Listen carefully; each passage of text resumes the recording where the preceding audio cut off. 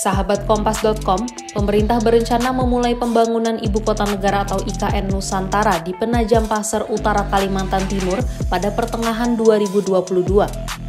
Pembangunan ini diperkirakan memakan waktu 15-20 tahun.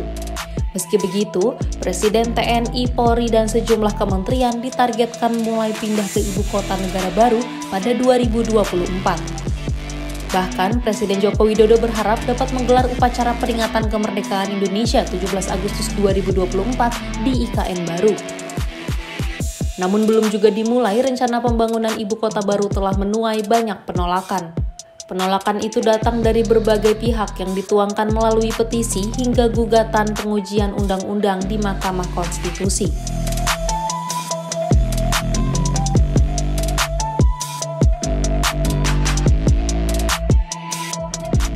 Terbaru muncul sebuah petisi yang ditujukan ke Presiden Jokowi, DPR, DPD, dan MK.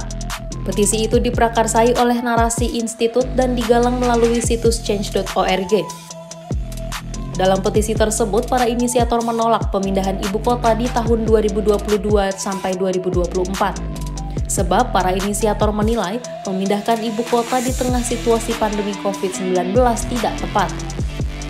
Para tokoh dalam petisi itu mendorong pemerintah untuk fokus menangani varian baru COVID-19 Omikron yang membutuhkan dana besar. Hal ini juga berkaitan dengan utang luar negeri, defisit APBN besar di atas 3 persen, dan pendapatan negara yang menurun.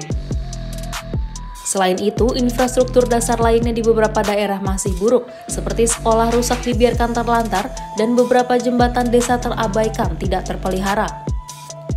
Di antara 45 tokoh penggalang petisi ini, ada nama mantan Ketua KPK Busiro Mukodas dan Guru Besar Ekonomi Universitas Indonesia Sri Edi Swasono.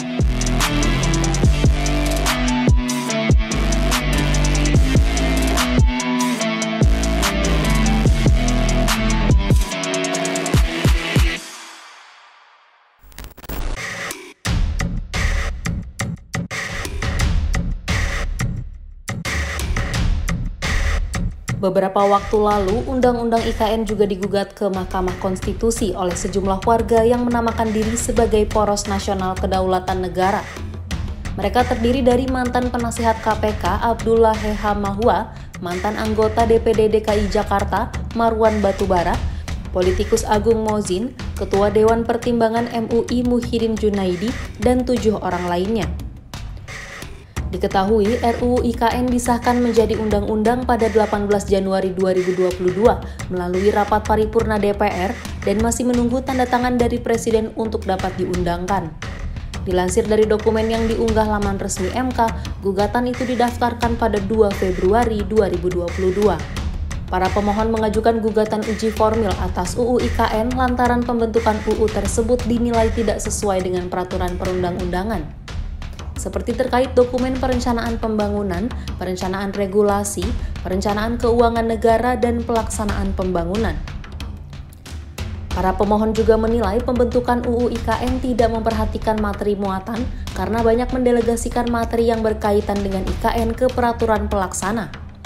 Selain itu, tidak ada keterbukaan informasi terhadap tiap tahapan pembahasan UU IKN. Sebab berdasarkan penelusuran pemohon, dari 28 tahapan atau agenda pembahasan RUU IKN di DPR, hanya tujuh dokumen yang dapat diakses publik.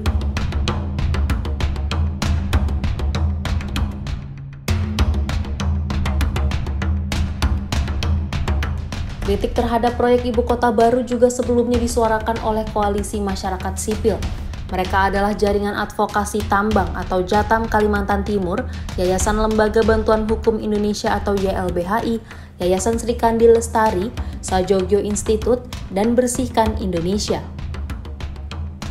Koalisi tersebut menuding bahwa pemindahan ibu kota negara merupakan mega proyek oligarki yang mengancam keselamatan masyarakat. Pemindahan ibu kota ini tak lebih dari proyek oligarki karena menurut mereka tampak upaya pendekatan IKN dengan pusat bisnis beberapa korporasi di sana. Selain itu ada pula sorotan mengenai kajian lingkungan hidup strategis atau KLHS cepat oleh pemerintah. Kajian itu tak memuat latar belakang mengapa Kalimantan Timur dipilih sebagai calon ibu kota baru dan bukan wilayah lain. Dalam KLHS cepat itu pun terungkap potensi masalah lingkungan di kawasan IKN nantinya mulai dari ancaman terhadap tata air, flora fauna, dan pencemaran.